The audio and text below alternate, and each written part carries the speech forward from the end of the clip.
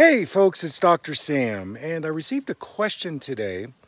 Why do I recommend a blue blocking filter versus a blue blocking tint?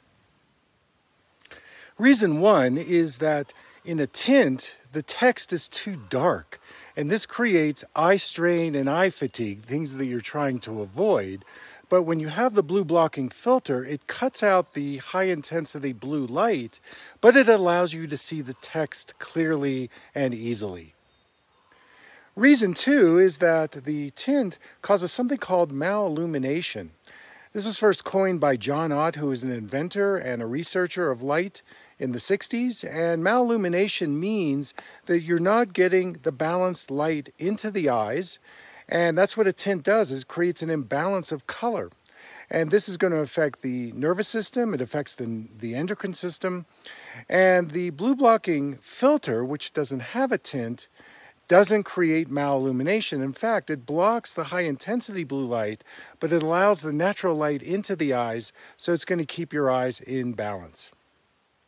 Reason three is that a tint artificially dilates the pupil, and so too much light is going to get in, and the wrong kind of light is going to get in. A filter, on the other hand, will allow the pupil to work uh, normally, so it will dilate when it needs to and constricts when it needs to. So it'll only allow the light that's necessary into the eyes, but the filter will block the high intensity light. So, to summarize, the blue blocking filter actually works a lot better than the tint because it allows your natural eye mechanism to work better. Now remember, when you use digital devices, you want to use the blue blocking filter, uh, especially after 6 p.m.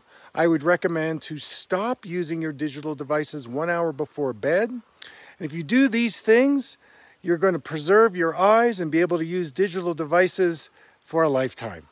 Take care, everybody.